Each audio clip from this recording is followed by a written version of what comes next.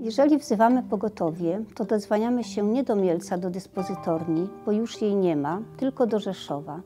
Ale jest coś, co możemy zrobić tu i w zasadzie na terenie całego kraju, żeby system działał lepiej.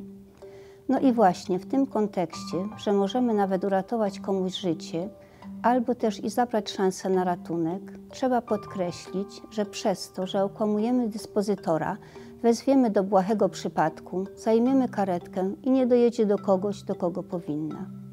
A z drugiej strony, jeżeli w porę udamy się do lekarza rodzinnego, zamiast wzywać karetkę, być może ocalimy komuś życie.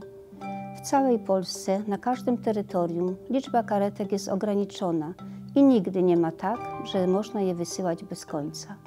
Jeżeli sytuacja nie jest podbramkowa i nie ma poważnego zagrożenia zdrowia i życia, to wystarczy konsultacja z lekarzem rodzinnym, który może zrealizować wizytę domową lub w niedzielę i święta można udać się do ambulatorium nocnej i świątecznej opieki zdrowotnej. A nawet jeżeli samopoczucie jest alarmujące, ale jesteśmy w stanie skorzystać z własnego transportu, to dobrze jest udać się do szpitalnego oddziału ratunkowego.